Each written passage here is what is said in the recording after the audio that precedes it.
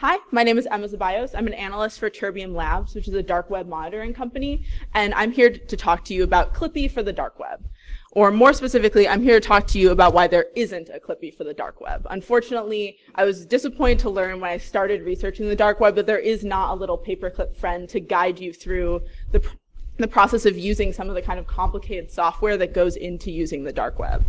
So during this talk, I'm going to walk you through what an ease of use tool actually is, because Clippy basically is an ease of use tool. He existed to make um, it easier for you to use Microsoft, um, to walk through what exactly the dark web is and why it exists, um, to walk through what ease of use tools there are already and why you might make one for the dark web, and then finally to talk about what the consequences of making an ease of use tool for the dark web would be.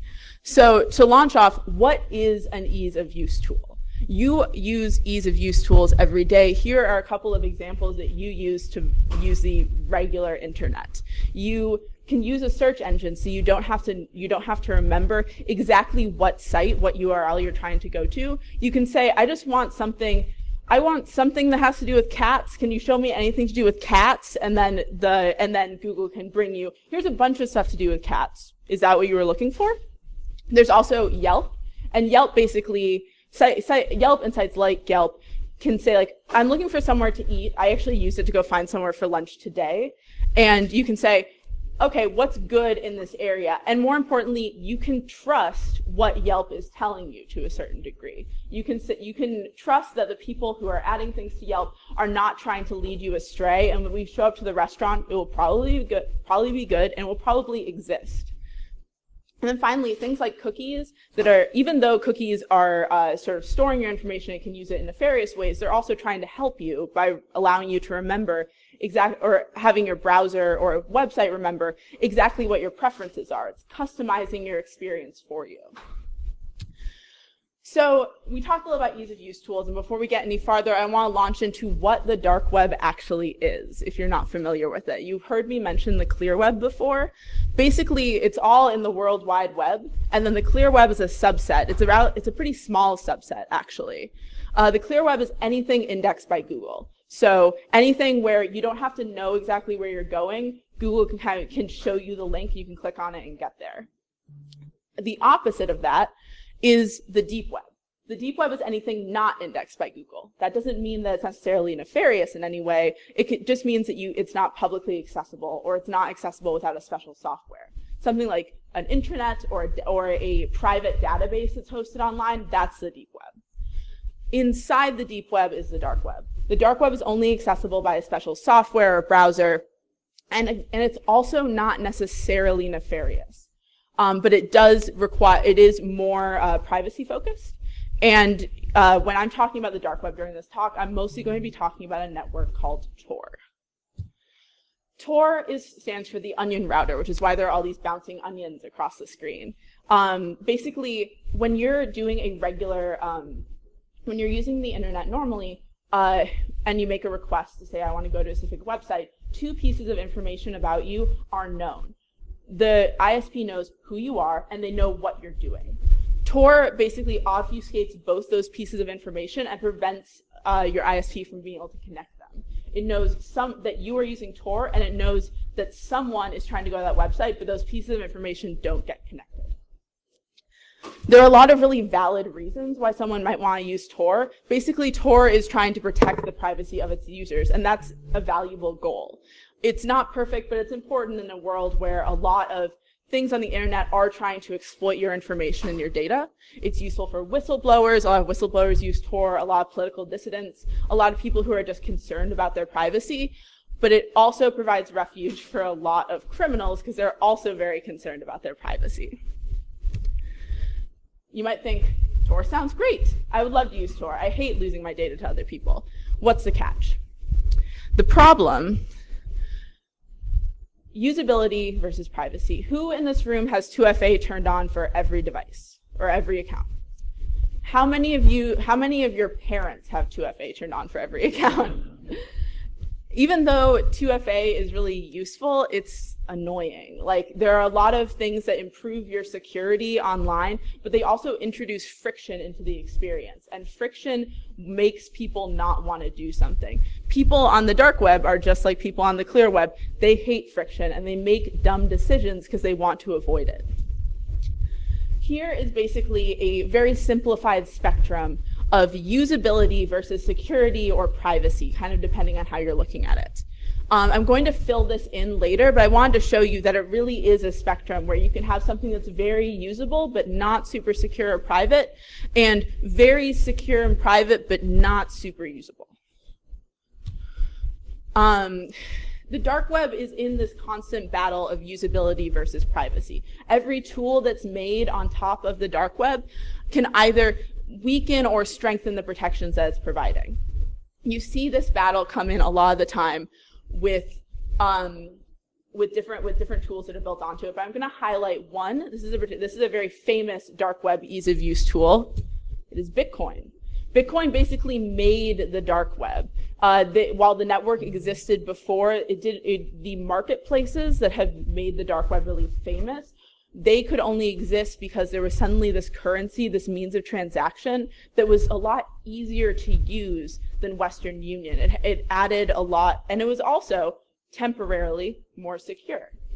There are a lot of benefits that Bitcoin provided. So Bitcoin kind of exploded. It launched all these marketplaces. But as it got more and more popular, people were like, I think we can build tools on top of this that make it easier to use. We can build exchanges, we can build escrow systems, we can build cleaners and foggers and tumblers so that we can so that we can more easily conduct transactions with each other. And then suddenly, as it got more and more popular, people were it began becoming more and more famous. And suddenly, uh, as uh, people were arrested, as sites went down, Bitcoin has become less and less anonymous. It's actually become less and less useful for the kinds of transactions that it was that it originally enabled because it, with the lack of privacy has come this lack of security. As it became more usable, it became less private and less and like actually less functional. There are tools that improve security on the dark web. Tor browser, oh sorry, Tor browser, which is one that I talked about right at the beginning. It's a way that you access Tor um, is actually an ease of use tool. It bundles all these things together so you can just open it and use it like a regular browser. Um, Tails is actually an operating system. Tails is built on top of Linux and it bundles together a lot of um, a lot of important privacy tools so as to make it basically as easy as easy as possible for you to make the correct privacy decisions. It's also really slow and and like if if you're used to using the shiniest newest os going to tails is like really taking a step back um, because suddenly everything is slower it's kind of it's jankier and it, the adoption rate of, of tails is low even in dark web criminal communities virtual private networks which are even easier um, and more widespread both on the dark web and on the clear web are also not adopted at very high rates. There's one stat, um, which was in my notes that I wrote down, but um, there was a study done of marketplace of underground carding marketplaces and forums where they basically lurked there and looked at what different security behaviors people had. Only 4.8% of people who were on a forum to talk about committing crime used a VPN.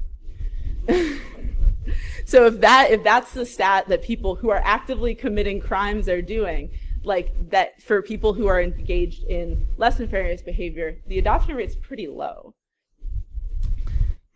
There are also tools that improve usability. So you have search engines, um, which have briefly existed on the dark web for a time. I'm going to talk about that more in the next slide. Um, forums, which can kind of, which are sort of made to replace that kind of Yelp-like oh, I need advice about how to do something. How do I get that? How do I find a community that I can trust? And then you also have things like plugins. Uh, there's a sort of a cycle with every dark web community or new marketplace where a new marketplace will be launched. The admins will think, I know how to set my marketplace away from aside from everyone else's. I know how to get new users. I'll use JavaScript. JavaScript makes e-commerce sites look really nice and functional. It's also terrible for security. It allows your devices to be fingerprinted. And so some, they'll introduce this beautiful, shiny new site that's so much more usable than all the other sites out there. And then they had this huge backlash because everyone's like, you have ruined our security. This isn't private at all. So there is this sort of trade-off of the things that we consider integral to our normal clear web experience actually make the dark web more dangerous to use. I said I would talk a little bit about search engines. Here are a couple. Grams is the most was the most famous, I think. It was specifically unifying um, essentially an e-commerce experience across a number of different marketplaces on the dark web. The dark web has these large multi-good marketplaces and um, it was trying to basically replicate the experience of when you go to Google and you can type something like, I want black sneakers, and it will show you results from Amazon and Nordstrom and Zappos all together. So you can kind of, you can compare things really easily. Grams was trying to do that for the dark web, and it also had a list of vendors, and had a Bitcoin tumbler that paid for the rest of the, for all the rest of the infrastructure. There was also Torch and Fresh Onions. Those have been, a, those were a little bit more focused on kind of ephemera of, uh, of the dark web, more about the esoteric sites, and a little bit less on the straight e-commerce functionality. What Torch and Fresh, on, Fresh Onions actually still exist. They just are kind of poorly maintained. They can't really keep up with the changing topography. And then also, dark web search engines fail pretty frequently because it's a lot of work for not a lot of profit. The person who created Grams actually closed his search engine in 2017 saying, this is way too much work. And I don't, and like, it doesn't pay the Bitcoin tumbler and the pro, like the donations don't pay for the work of maintaining the site. Yes. Yes. Mm-hmm. But yeah, they've attempted there. It isn't a very profitable enterprise. It turns out monetizing things on the dark web is approximately as hard as monetizing them on the clear web. There are also forums and communities. Since since uh, search engines have not really panned out in a big way, people have sort of shifted to forums and communities um, as a way of sort of replicating that I don't know this information, who can I ask, who can I trust sort of mentality. But what we've, they've ended up in sort of a different dilemma there where um, it's, uh, it's easy to set up a forum on the clear web. There are a lot of sites that are, that are created to be able to let you set up forums, including Reddit, which for a while had a thriving dark web community of, for, of for, interlinked forums for different like sort of subsections of the dark web. However, hosting a, hosting a network of subreddits where you explicitly talk about how to commit crime did not turn out to be very popular with the Reddit admins, and it was shut down earlier this year. So, but there are alternatives. Um, there's Dread, which is actually a Reddit clone that was created after the Reddit subreddits were shut down. The problem with that is that there were people who would stumble onto the subreddits or stumble onto clear websites because they were they're already on the clear web looking for stuff, and then that's an entry point to the dark web. Because you can say like, oh, it's actually really easy. There are people here providing me with a guide on how to do this. On if something is already being hosted on the .onion site, suddenly there's no way to effectively stumble across it. Um, and then that prevents you from really building a new user base and building a new, um, actually like even buyer or purchaser base very quickly. Because you're cut off from the stream of new users. The Hidden Wiki and Deep Web also kind of serve this function because they're accessible um, through the clear through the clear web or through clear web mirrors. The problem is again like they're not they're not as discussion focused. They're more just like lists of sites. A little bit less of like a forum community that builds trust between people. And these, I've been talking a lot about efforts from within the dark web to make the dark web more usable and more user friendly. Uh, obviously, people are trying to map the dark web from the outside. I work for a dark web um, security company that is interested in the kinds of conversations and the data trade that happens on the dark web. Uh, there also, academia has done several studies, including the one that I, I mean, not several, they've done a lot of studies, um, including the one that I talked about earlier where they were talking about um, the, the social and security dynamics of foreign communities. And then also, the government facilitated the creation of the dark web, and they do have a huge vested interest in keeping that infrastructure like functional while also discouraging the criminal communities that find refuge there. So law enforcement also has a huge vested interest in being able to understand the topography of the dark web. So we talked about these efforts to make the dark web easier to use, both from inside and outside of the dark web. But what happens actually when the dark web gets easier to use? You may remember, you may recognize some of these logos. Silk Road was in the news. AlphaBay and Hansa were in the news last year because they're all gone. uh, when the dark web gets easier to use, uh, suddenly lots of people want to use it. And when lots of people want to use it, places like Wired and Motherboard and Gawker, RIP Gawker, all write about how about this cool new site. And then suddenly law enforcement realizes that perhaps they should not allow this site to exist anymore, and then it disappears.